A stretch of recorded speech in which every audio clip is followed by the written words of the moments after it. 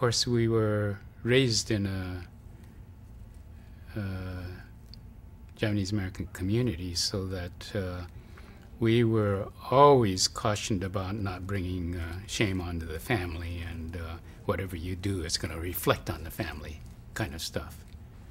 So we we'd get admonitions of that sort. I remember one time when one of the local Nisei boys, I think he was a little bit older than me, um, ran away.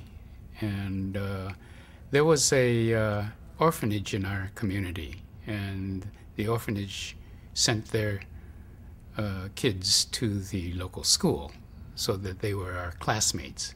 And uh, apparently, this uh, one kid, uh, he and some kids from the orphanage ran away one day.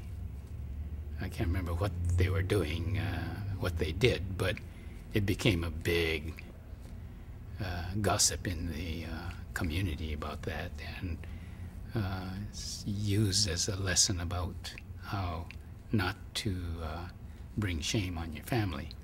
Now, the community that I grew up in uh, was, I would guess, about 50 50 Japanese Americans and um, Japanese and non-Japanese. In my specific class, three quarters three quarters of us were Nisei. So we were the majority. And uh, but we still had uh, the um, sting of uh, racism you know, sort of ground into us.